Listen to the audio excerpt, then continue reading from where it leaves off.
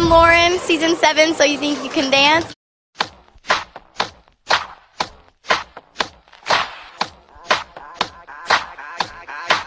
I came to dance, dance, dance, dance. I hit the floor cause that's my plans, plans, plans, plans. I'm wearing all my favorite brands, brands, brands, brands. Give me some space for both my hands, hands, hands, hands.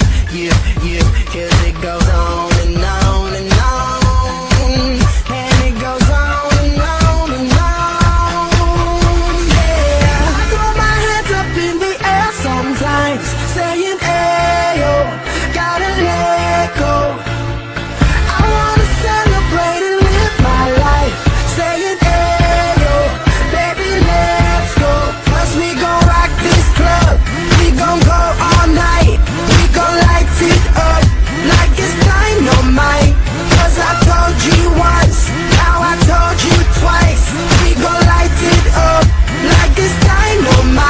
I came to move, move, move, move. Get out the way of me and my crew, crew, crew.